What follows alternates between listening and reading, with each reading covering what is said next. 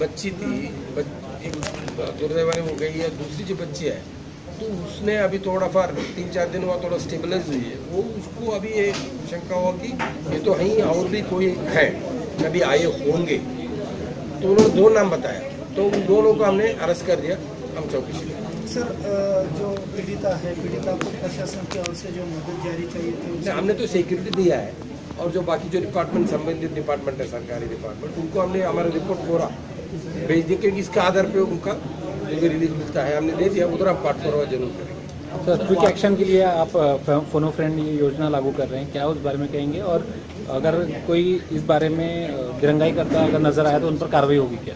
देखिए फोनो फ्रेंड का मतलब ये हुआ एक लेबल है। ऐसे लेबल लेबल देते हैं। आखिर एक ही बात है फ़ोन किया तो पुलिस आना चाहिए।